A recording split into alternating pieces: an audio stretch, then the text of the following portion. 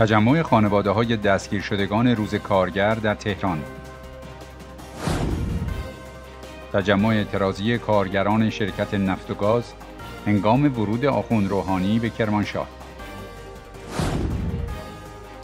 کنفرانس در دفتر نمایندگی شورای ملی مقاومت در واشنگتن.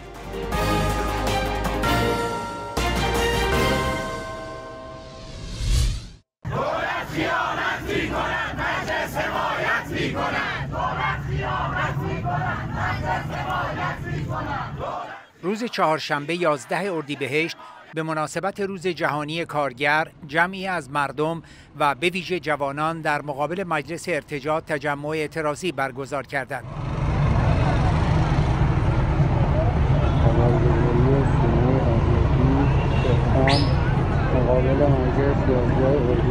نیروهای سرکوبگر انتظامی و گارد ویژه به تجمع کارگران و اقشار مختلف مردم در مقابل مجلس ارتجاع یورش برده و ضمن ضرب و شتم آنها شماری را دستگیر کردند. بیشرف بیشرف بیشرف بیشرف. نترسید نترسید ما همه با هم هستیم. نترسید نترسید بعد از ظهر روز چهارشنبه خانواده ها و جمعی از دوستان بازداشت شدگان که در جریان تجمعات به مناسبت روز جهانی کارگر در مقابل مجلس ارتجاع و مقابل خانه کارگر رژیم دستگیر شده بودند در مقابل بازداشتگاه وزرا در تهران تجمع کردند. آنها نسبت به دستگیری عزیزانشان اعتراض کردند و خواستار آزادی آنان شدند. همزمان با ورود آخوند روحانی به کرمانشاه کارگران شرکت نفت و گاز برای نشان دادن اعتراض خود در خصوص جابجایی این شرکت به ایلام در حیات این شرکت تجمع اعتراضی برگزار کردند. تجمع کنندگان بنرهایی در دست داشتند که روی آن نوشته شده بود خیانت وزیر نفت در حق کرمانشاه تمامی ندارد. واگذاری نفت و گاز غرب به ایلام خیانت در حق بیکارترین استان ایران است.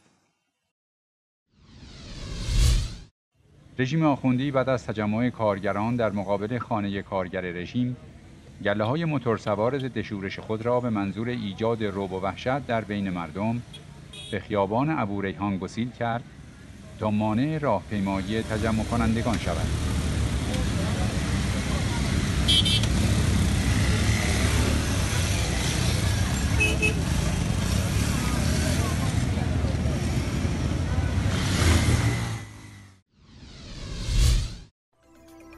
روز چهارشنبه 11 اردیبهشت در یک کنفرانس مطبوعاتی که با حضور خبرنگاران و نمایندگان رسانه های خبری بین المللی در دفتر نمایندگی شورای ملی مقاومت ایران در واشنگتن برگزار شد کتاب فرستادگان ترور رژیم ایران چگونه سفارتهای آخوندها شبکه قتل و جاسوسی را هدایت می کنند معرفی شد. Uh, the director for the internal affairs as a, as a terrorist entity.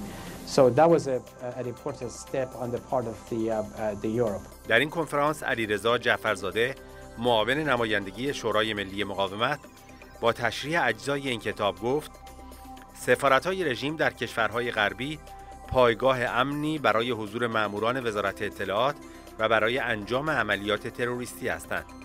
جعفرزاده با برشمردن شمار دیگری از اقدامات تروریستی رژیم خواستار لیستگذاری تروریستی وزارت اطلاعات رژیم و بستن سفارتخانه های این رژیم در کشورهای مختلف به عنوان مراکز پیشبرد تروریست حکومت آخوندی شد.